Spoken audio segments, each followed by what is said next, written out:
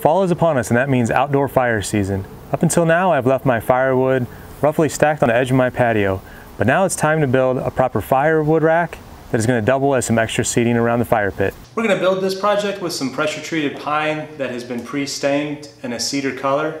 We could have used regular cedar lumber, but it was a little expensive and the stuff that I found at my local Home Depot was like shaped more like it was built for a canoe. So I'm gonna go with this pine, it's nice and straight. And I'll have some basic plans and a cut list and some instructions on our website at howtofixitworkshop.com and I'll leave a link down below where you can find that. I'm making these legs out of 2x4s and they're gonna be about 15 and a half inches long because I want the bench, the firewood rack to be about 17 inches tall, which is about standard height for a chair or a bench.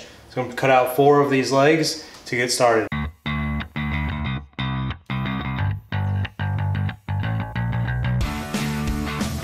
Next up, I'm gonna take these two by fours and rip them in half long ways so that I'm splitting them right down the middle evenly. And these are gonna be used for the stringers, for the, the bench, for the, the fire wood rack. These are gonna be used to hold all of the legs together. Next up, I'm gonna cut down these new two by twos to act as the stringers all the way around on the bench. So I'm gonna cut down some four long ones and then four short ones.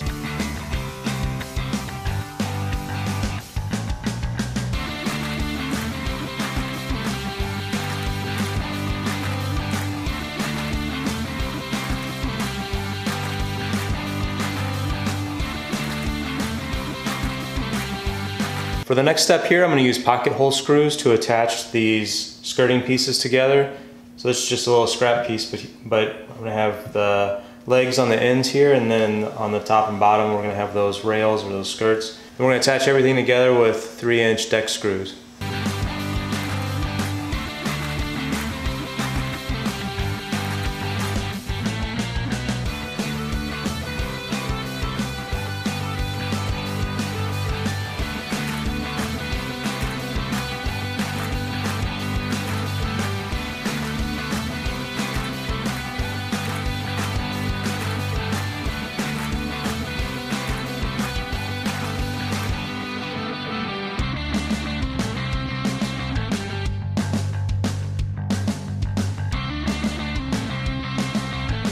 Now we're gonna go ahead and attach the legs to the skirt with some three inch deck screws. I went ahead and pre-drilled the holes so that they're all uniform and in the same spot.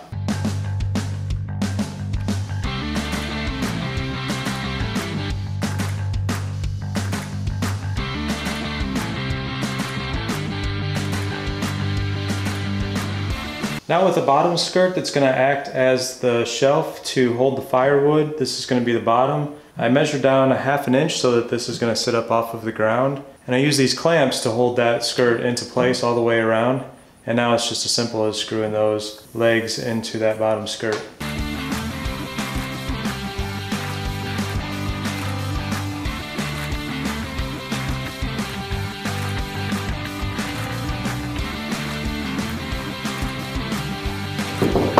Next up, we're gonna build the bench top or the cover of the firewood rack. And I'm just cutting down these eight foot two by sixes to the proper length.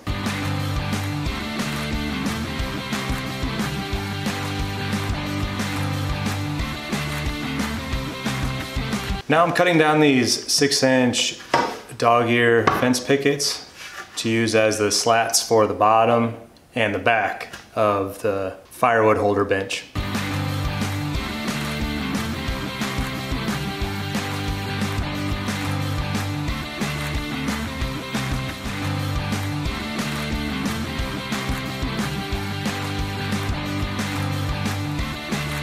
Unfortunately, I purchased too many 2x4s and not enough fence pickets for this project. But I'm gonna go ahead and attach the top, which will be the seat for the bench, and I'll pick up the fence pickets later. And I'll have the proper list of materials in my plans in the link down below. I was going to attach these boards from the underside to try to conceal and hide the screws, but I decided to just screw from the top, sort of like a deck. So I just clamped the boards together and I'll run screws down from the top.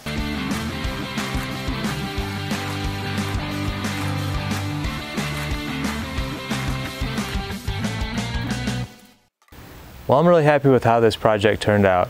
Got a place to keep my firewood dry, and it's just a few feet away from my fire pit.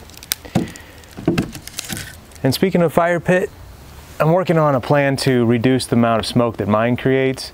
And when that project is complete, I'll leave a link to that video right here. And I'm also using some of the scrap wood, the cutoffs of this project to create some side tables that are gonna go in between some of these Adirondack chairs around the fire. And when that project's complete, I'll leave a link to that video right here. So thanks for watching. Don't forget to leave a thumbs up and I'll see you in the next one.